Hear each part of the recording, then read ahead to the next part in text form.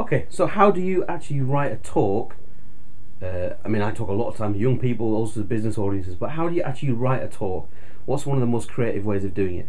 Well, every, everyone will tell you something slightly different, but for me, it's about a whiteboard or a blank piece of paper.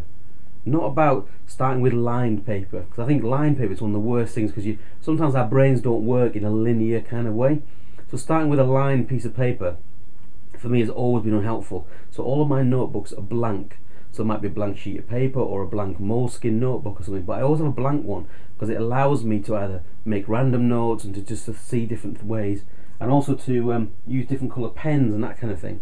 So okay, first thing before you do, what's your core message? What is the one thing you want them to take away at the end of your talk? So your core message, whatever it happens to be, needs to be right here in the middle.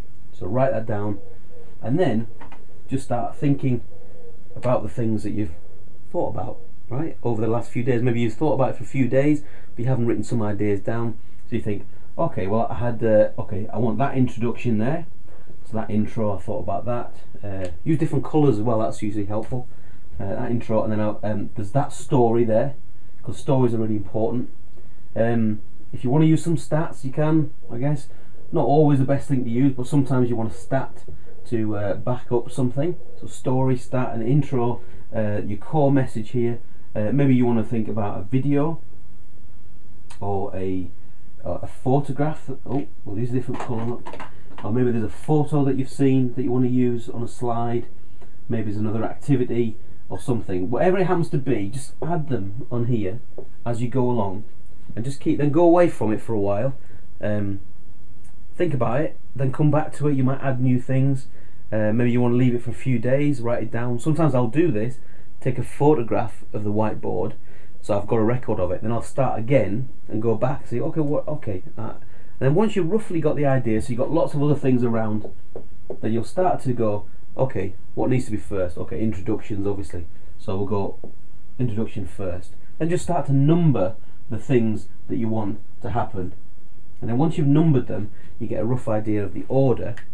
And then if you want to do slides, you don't always have to use slides. I use quite a lot of them, but I use big, powerful slides rather than bullet points. I'm kind of allergic to bullet points, right? So big, powerful, visual slides. And then what you want to do is maybe you start to write them down. So on a post-it note, write down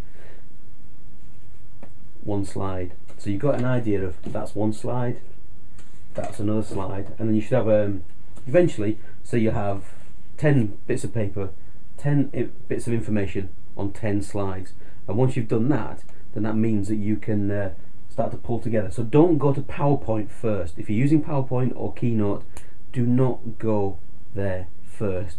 Go there last, and everything inside of you will be going. Oh, I'll just go and add that. But no, no, no. Start on a piece of paper. Start on a whiteboard first, and then, if you want to use slides, go there last because that will have taken shape, and you'll be able to do it. So, a couple of slide tips as well as you do that.